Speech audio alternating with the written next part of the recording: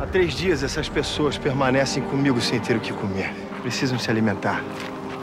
Quer que os dispensemos, senhor? Não. Se fizer isso, vão desmaiar de fome no deserto. Estamos num deserto, senhor.